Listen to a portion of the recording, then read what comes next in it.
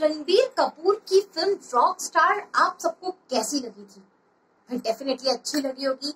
इम्तियाज़ अली ने फ़िल्म को डायरेक्ट किया था। नरगिस फ़िल्म के अंदर नज़र आई थी और बहुत अच्छी स्टोरी थी। गाने ज़बरदस्त थे। लेकिन क्या नरगिस जो थी, वो इस फ़िल्म के लिए पहली ही चॉइस थी?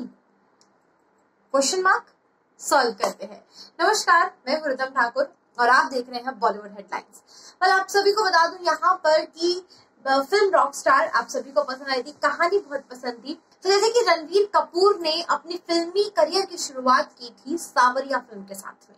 तो वहीं पर दूसरी तरफ़ नरगिस जो थी इनकी पहली फ़िल्म थी रॉक स्टार अब वो हीरोइन आ जाती है भाई जिसको लेकर फ़िल्म को एक्सपेक्ट किया जा रहा था फ़िल्म दिमाग में रखी जा रही थी। वो थी दीपिका पादुकोण। जी हाँ दीपिका पादुकोण और रणवीर कपूर की जोड़ी उस समय काफ़ी ज़्यादा फ़ेमस भी थी और जिस तरीके से दोनों एक दूसरे से अपने काम करते थे केमिस्ट्री दोनों की काफ़ी मतलब मेमोरेबल रही है, यादगार रही है, हमेशा पसंद की गई है।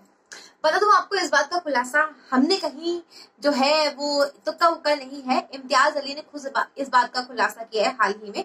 एक मैगजीन को इंटरव्यू देते वक्त उन्होंने कहा कि जब वो रॉकस्टार फ़िल्म बना रहे थे तो उस समय पर दीपिका पादुकोण से वो मिले थे और जिस तरीके से दीपिका पादुकोण और इम्तियाज़ अली दोनों ने ही एक दूसरे को देखा था तो कहीं ना कहीं वो जो वर्क ऑफ़ अट्रैक्शन था दोनों की तरफ़ था और इम्तियाज़ अली ने पहली नज़र में ही देख के ये चीज़ फाइनलाइज कर ली थी कि वो दीपिका पादुकोण को ही अपनी फ़िल्म की एक्ट्रेस बनाएँगे।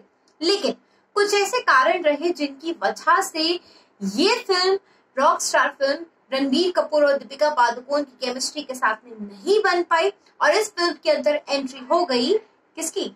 नरगिस की। है? फ़िल्म बहुत अच्छी थी। नरगिस बहुत अच्छी लग रही थी फ़िल्म के अंदर। इनफैक्ट जितनी फ़िल्म नरगिस की रॉकस्टार फ़ेमस हुई है, उतनी अभी तक कोई और नहीं हुई है। ऐसे में आप लोगों की राय क्या है? अगर फ़िल्म के अंदर आपको सच में दीपिका पादुकोण दिख जाती तो क्या लगता है? फ़िल्म क्या और आसमान छूती या फिर नरगिस बेस्ट ही थी? राय कमेंट सेक्शन में ज़रूर शेयर कीजिएगा। अभी के लिए इतना ही। बने रहिए चैनल के साथ बॉलीवुड हेडलाइंस में।